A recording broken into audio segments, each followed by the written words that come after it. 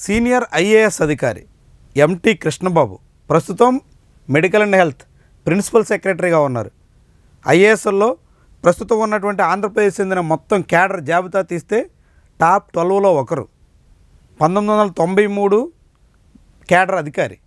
అనేక పదవులు నిర్వహించి ఉన్నారు. వైఎస్ఆర్సీపీ హయాంలోనూ కూడా వైద్య ఆరోగ్య శాఖనే ఆయన బాధ్యతలు చూశారు. ఇప్పుడు కూడా అదే శాఖ నిర్వహణలో ఉన్నారు.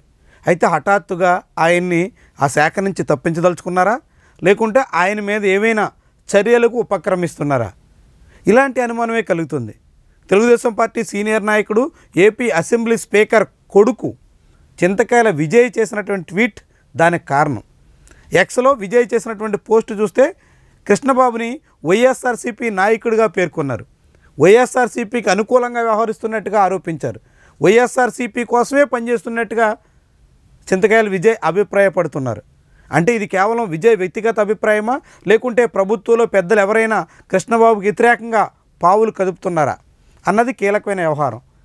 అదే పోస్టులో వైద్య ఆరోగ్య శాఖ మంత్రి సత్యకుమార్ యాదవ్ని ట్యాగ్ చేస్తూ ఈయన మీద చర్యలు తీసుకోవాలని కూడా చింతకాయల విజయ్ డిమాండ్ చేశారు.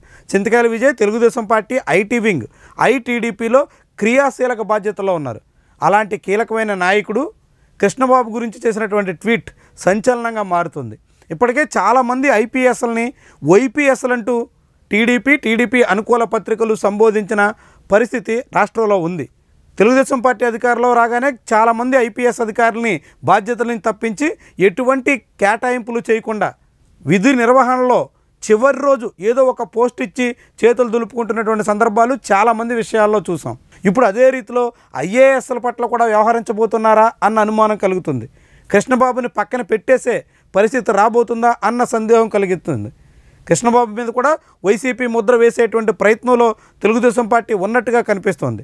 అందుకు తగ్గట్టుగా కృష్ణబాబు మీద ఏవైనా చర్యలు కూడా తీసుకుంటారా అన్న అభిప్రాయం కూడా వినిపిస్తుంది. వాస్తవానికి రేపో మాపో రాష్ట్రంలో ఐఏఎస్ల బదిలీల వ్యవహారం ఉండబోతుంది. భారీగా ఐఏఎస్ఎల్ని ట్రాన్స్ఫర్ చేసే అవకాశం ఉందని అంతా భావిస్తున్నారు. అలాంటి సమయంలో కృష్ణబాబు మీద తెలుగుదేశం పార్టీకి చెందిన కీలక నాయకుడు చేసినటువంటి సోషల్ మీడియా పోస్ట్ ఇప్పుడు వైరల్ అవుతుంది. ఎందుకని కృష్ణబాబుని టార్గెట్ చేశారో అన్నది ఆసక్తికరంగా కనిపిస్తుంది. ఆరు నెలలుగా తెలుగుదేశం పార్టీ విధానాలకు అనుకూలంగా కృష్ణబాబు పనిచేస్తున్నప్పటికీ ఇప్పుడు హఠాత్తుగా తెలుగుదేశం పార్టీ నేతలకు కృష్ణబాబు మీద ఆగ్రహం కలగడానికి అసలు కారణం ఏంటా అన్న చర్చ కూడా సాగుతోంది. ఐఏఎస్ వర్గాల్లో కూడా ఇదొక కీలకమైనటువంటి వ్యవహారంగా మారుతోంది.